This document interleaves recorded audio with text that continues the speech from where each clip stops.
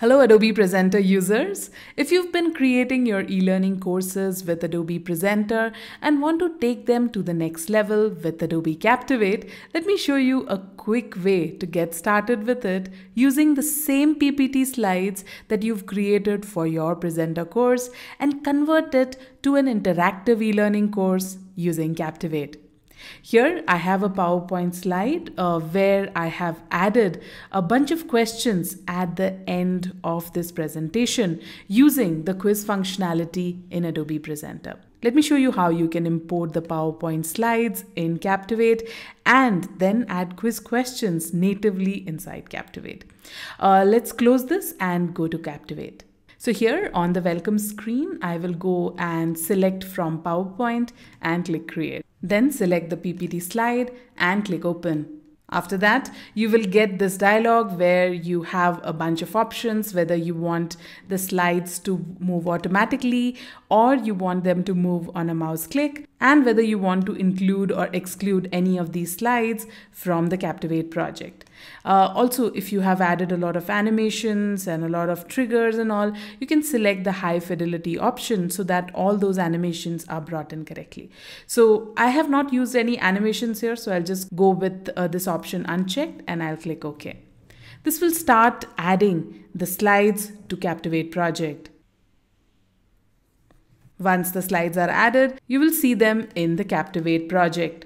On top of these slides, you can add native objects in Captivate. So if you want to add a button here, you can easily do that by using either the shapes or you can go to the assets panel and bring in ready to use buttons in your project. So I'll just go to buttons here and I can select one of the buttons from these pre-made buttons and click insert. Then resize and reposition it on the stage.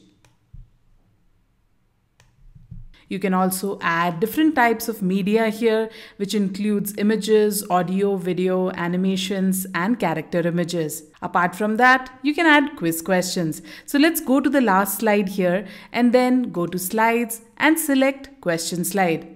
Here, we need one multiple choice question and two true false questions. So I'll just add those numbers here and click OK. This will add the pre-built question slides on my screen. I can then reposition them based on the order in which I want these questions to appear and then populate it with the text that I have. I have the question text in a Word file, so I can just copy the question stem and paste it in the placeholder. Then to select the correct option, just click on that radio button and that answer is selected. Then I can go to the next question. Again, copy the question stem and paste it in the placeholder. Here to increase the number of answer options, I can go to the quiz inspector and increase it. For this question, I need three answer options and populate these answer options. Similarly, for the third question, I can go and change the question stem. And that's how I was able to add question slides to my Captivate project. Now let's preview it. We'll go to Preview, HTML5 in browser. Then click the play button and it will start playing the presentation. I can click the start button and I can keep moving through these slides using the progress bar. So I'll keep going through these slides and as soon as I reach the question slide, I can respond to these questions. The correct answer for this is false. I'll click submit and it shows me the correct response. This color scheme and style you can easily change based on your requirement.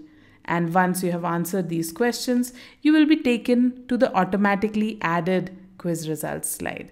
So this is how you can convert your PowerPoint presentation into e-learning. There's one more thing we need to do here so that it talks to the learning management system correctly. For that, we will go to edit and select preferences. Then go to quiz preferences and here select enable reporting for this project.